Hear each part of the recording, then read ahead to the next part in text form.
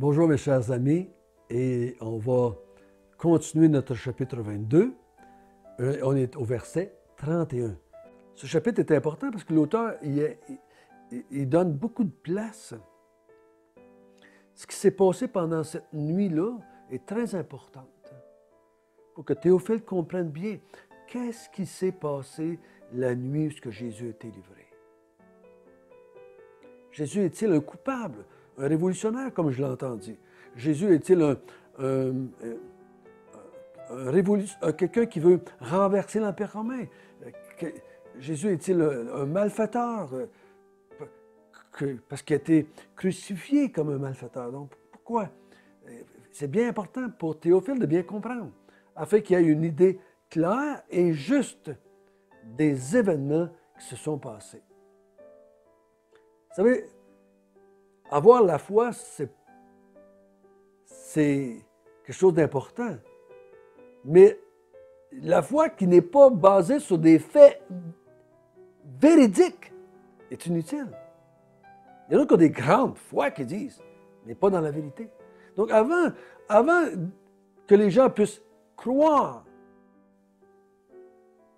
il faut qu'ils entendent les faits. Il faut qu'ils connaissent les faits et les paroles que Jésus a accomplies et qu'il a dites.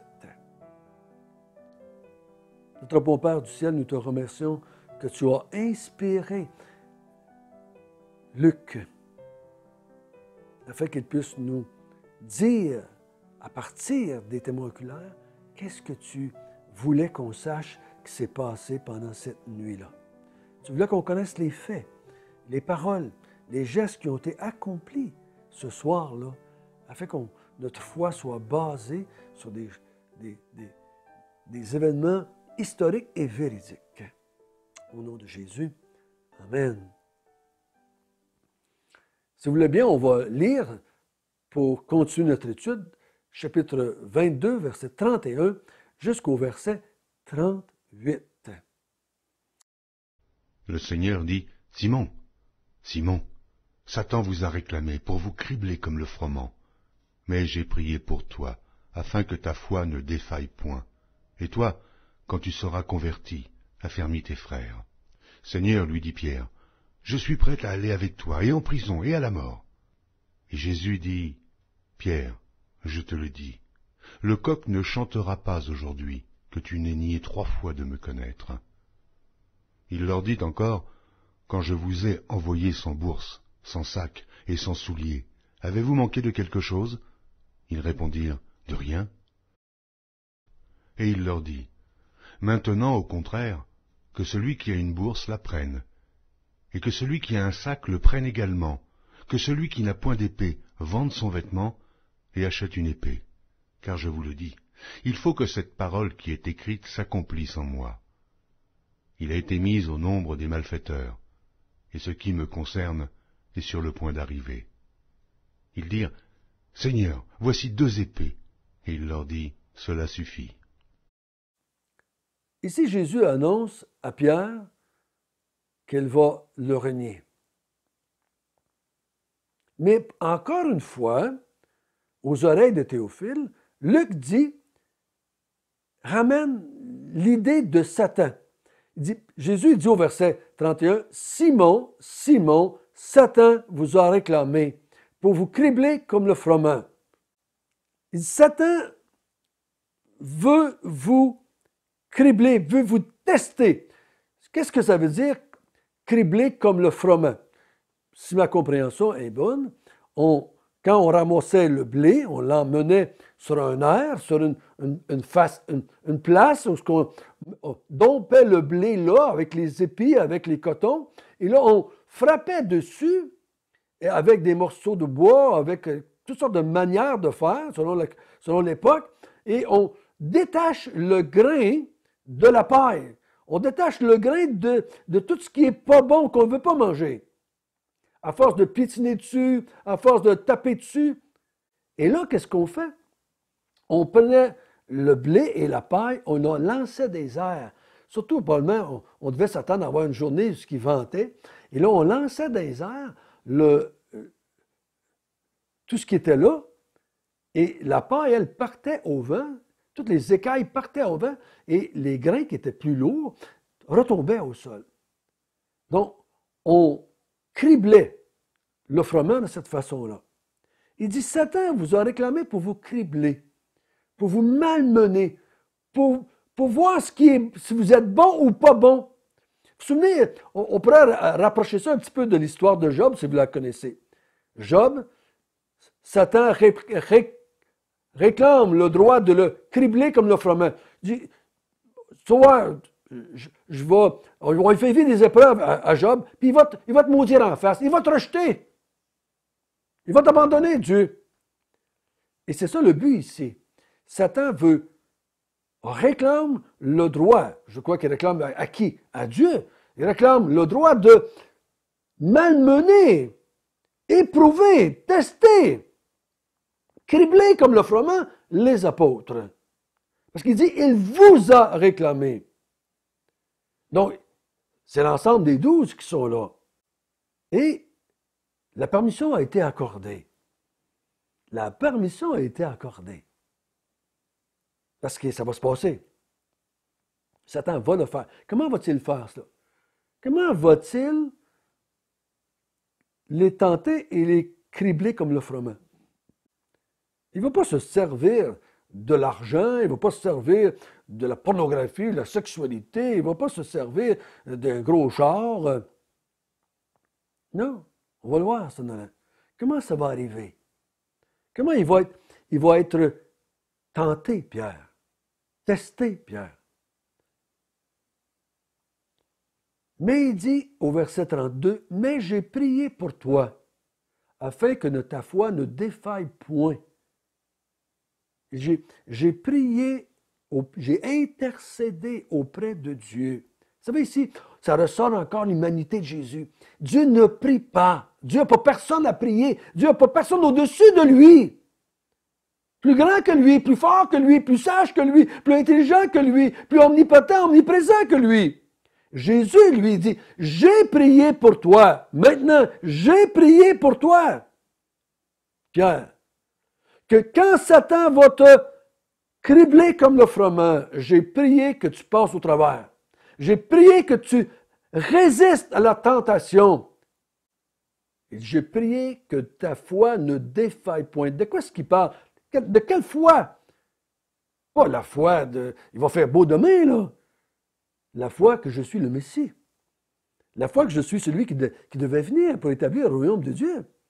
Parce que là, j'ai intitulé ça un, Jésus livré est un scandale. Jésus condamné, livré à la mort, crucifié, va devenir un scandale pour tout le monde. Va être une pierre d'achoppement pour tout le peuple d'Israël. Très peu vont passer à travers la croix, à travers la mort, à travers la crucifixion, qui vont accepter que Jésus, malgré toute cette épreuve, malgré toute cette difficulté, cette mort dégradante, cette mort horrible de la croix, qu'il est vraiment le Messie quand même, qu'il est vraiment celui qui devait envoyer le roi d'Israël. Parce que ça ne rentrait pas dans la tête des Juifs que Jésus était le Messie et plusieurs vont le rejeter à cause qu'il est mort et qui est parti et qui est monté au ciel. Beaucoup qui l'ont abandonné parmi les Juifs et parmi le monde entier dans lequel on vit. Un Jésus souffrant, malmené, crucifié, on n'en veut pas. Un Jésus qui multiplie les pains, qui fait des miracles, un Jésus qui protège, qui donne ceci, qui fait cela, qui fait ceci, qui est à notre service, ça on en veut qui multiplie les pains, puis qui nous donne des jobs, puis qui nous fait ceci, puis qui répond à nos prières, ça on en veut. Mais un Jésus souffrant, un Jésus malmené, un, Jésus crucifié, on n'en veut pas. Mais il dit, j'ai prié pour toi, afin que ta foi ne défaille point. Et lorsque tu seras revenu, certaines Bibles, c'est marqué converti, lorsque tu vas avoir, parce qu'il il va tomber, Pierre. On sait, si on finit de lire le chapitre, on va le voir dans les jours qui viennent, il va tomber, Pierre. On dit, mais la réponse, Jésus n'a pas été exaucé. Oui. Il va tomber, mais il va se relever. Il va revenir, puis il va finir par croire que Jésus est le Messie. Il va l'accepter, ce Messie mourant sur la croix pour établir le royaume de Dieu. Il dit, quand tu seras revenu, quand tu vas, avoir compris, mais que tu vas avoir accepté et que tu vas avoir euh, par la foi, tu vas m'accepter comme Messie, comme celui qui devait venir, comme le roi d'Israël. Affermis tes frères, tu aideras les autres à faire de même. Satan vous a réclamé, j'ai prié pour toi, Pierre. Et quand tu vas passer à travers l'épreuve, tu aideras tes frères à revenir aussi et à croire que je suis le Messie qui devait venir. Verset 33, Pierre comprend pas tout ça, il dit, Seigneur, lui dit Pierre. Pierre a bien compris qu'il va abandonner. Seigneur, je suis prêt à aller avec toi en prison et jusqu'à la mort s'il le faut. Je suis prêt, Seigneur. Je ne vais pas t'abandonner. Je vais, je vais résister à la tentation. Seigneur, je ne vais pas tomber. Jésus dit, oui, Pierre, tu vas tomber. Au verset 34, il dit, avant que le coq chante demain matin, tu vas m'avoir renié trois fois. Tu vas m'avoir rejeté. Je vais avoir été pour toi un scandale. Tu vas me renier, tu vas m'abandonner, tu vas me renier, tu vas dire que tu ne me connais pas. Tu vas avoir honte de moi. Attention, Pierre ici n'est pas encore converti. Pierre ici n'est pas encore quelqu'un qui est prêt à accepter ce genre de Messie-là, mourant, crucifié, rejeté par les autorités. Il n'est pas prêt encore. Mais la prière de Jésus va être exaucée. Il va le faire. Il va le faire. Bien content que Jésus a prié pour lui. Et je peux vous dire un secret, si je peux vous dire ça comme ça, dans Jean 17 ou Jean 18, Jésus prie pour tous ceux qui viennent après Pierre, après les apôtres, pour qu'ils croient aussi. Jésus va prier aussi pour toute l'Église. Jésus a prié pour nous, tous les élus, afin que notre foi soit ferme et qu'on croit en lui, ce genre de Messie-là. Je vous dis, ce genre de Messie-là va être un scandale pour bien des gens et ils ne vont pas l'accepter comme Messie. Verset 35, il leur dit encore, quand je vous ai envoyé sans bourse, sans sac, sans souliers, avec vous manquez de quelque chose? Ils répondirent de rien. Il leur dit maintenant, maintenant prenez, un, prenez un sac, prenez une bourse, euh, si vous n'avez pas des épées, euh, prenez vendez vos vêtements, euh, achetez-vous des épées. Parce qu'encore une fois, regardez bien ce qu'il dit au verset 37. Car je vous le dis, il faut que cette parole qui est écrite s'accomplisse en moi. Il a été mis au nom des malfaiteurs. Donc il dit, ça a été écrit. Vous dis, Jésus, en tant qu'être humain, en tant que dans Luc, a su cela en lisant les Écritures de l'Ancien Testament. Il savait qu'il serait mis au nombre des malfaiteurs. les malfaiteurs, euh, c'est des gens qui ont des bourses, c'est des gens qui ont des sacs, c'est des gens qui ont des épées. C'est des malfaiteurs. Et c'est pour Théophile. Il comprend. Il a été vu comme un malfaiteur. Mais il n'était pas un malfaiteur. Il a fait exprès. Il a fait exprès pour être mis au nombre des malfaiteurs parce qu'il veut mourir. Il désire la mort pour mettre en place cette nouvelle alliance, comme on a vu, et pour mettre en place le royaume de Dieu. Il n'était pas un malfaiteur, mais il a dit à ses disciples, vendez ce que vous possédez, euh, vendez votre manteau, achetez-vous des épées. Il faut qu'on me mette au niveau des malfaiteurs, il faut qu'on me traite comme un malfaiteur, il faut qu'on me mette à la croix comme un malfaiteur, mais je ne suis pas un malfaiteur. Et c'est important pour Théophile de bien comprendre ça. Ce qui me concerne est sur le point d'arriver et il dire, Seigneur, Voici deux épées, et il leur dit, cela suffit. Ce qui me concerne, ce que l'Ancien Testament prédisait, annonçait, avait déterminé, l'Ancien Testament, c'est Dieu qui décrit, annonce, prophétise son plan. Dieu n'est pas en train de dire, je vais vous dire à l'avance ce qui va arriver. Comme un gars qui regarde dans une boule de cristal le futur, puis je vais vous dire qu'est-ce qui va arriver. Non, il dit, je vais vous dire ce que je vais faire. Les prophéties, c'était ça. Je vais vous dire ce que je vais faire. je vais vous annoncer par les prophètes de l'Ancien Testament ce que je vais faire. Il ce qui a été écrit, que mon Père ferait, ce que mon Père voulait, c'est sur le point de s'accomplir. Oh, comment c'est important de voir Jésus, parce qu'il y a des millions de gens sur la terre qui disent que Jésus a été une pauvre victime de la société, de la politique, des Romains, des Juifs, c'était du monde jaloux. Jésus, ou d'autres qui disent Jésus s'est euh, a accepté sans vouloir se venger, il a tendu la joue droite, il était un bel exemple pour nous autres, mais ce n'est pas la réalité. La réalité ici, c'est que Dieu avait déterminé un plan. Dieu avait prédéterminé ce que devait arriver. Et Jésus savait ce qui devait arriver par les Écritures. Et il accepte. On va voir dans les jours qui viennent qu'il va se battre, qu'il va, va suer du sang, qu'il qui va prier pour avoir la force d'aller jusqu'au bout et d'accomplir le royaume de Dieu, d'accomplir ce qui devait être accompli, le plan de Dieu. Donc il dit à Théophile, Théophile, oui, il a été traité comme un malfaiteur. Oui, même ses disciples l'ont abandonné comme un malfaiteur. Ses disciples sont, à ce moment-là, dans, leur vie, sont pas capables d'accepter que Jésus soit traité comme un malfaiteur. Ils agissent envers lui comme si c'était une réalité, qui était un malfaiteur. Judas le livre, les disciples l'abandonnent, Pierre le renie, il dit pas le connaître, Pierre agit comme s'il était vraiment un malfaiteur. C'est qui qui veut être l'ami d'un malfaiteur? Qui veut être identifié à un méchant? Qui voudrait être identifié à Hitler? Personne. Qui veut être identifié et traité comme le malfaiteur. Parce que les disciples savent que s'ils s'identifient à lui, s'ils disent le connaître, s'ils disent être ses disciples, on va les traiter comme lui. Ils ont peur. Pour sauver leur peau, ils abandonnent Jésus, ils renient Jésus. C'est pas fait, il fait juste l'annoncer ici. Il l'annonce.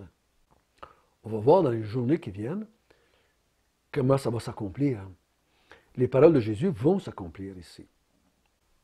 Mais le but ici, c'est pas montrer que Jésus connaît l'avenir, c'est de montrer que Jésus est mort selon ce qui avait été écrit. Il dit Théophile, Jésus est mort comme un malfaiteur parce que ça avait été déterminé, on l'a vu hier, ça avait été écrit de la façon que ça devait arriver. C'était écrit le le où, le quand, le comment ça devait arriver, le pourquoi ça devait arriver. Jésus n'était pas un révolutionnaire, un malfaiteur, mais il n'était pas non plus une victime. C'est arrivé selon le plan de Dieu. Notre bon Père du ciel, nous te prions et nous t'exaltons et nous te louons que ton plan s'accomplit toujours personne ne peut empêcher ce qui est écrit d'arriver. Et la mort de Jésus avait été écrite. Et il est arrivé et il a accompli le royaume de Dieu. Ô Seigneur Jésus, malgré que tout ce que tu avais compris, malgré tout ce qu'il savait, que tu savais ce qui devait arriver, tu l'as accepté tu l'as voulu, tu l'as désiré comme on a vu hier, parce que tu voulais la gloire de ton Père. Amen.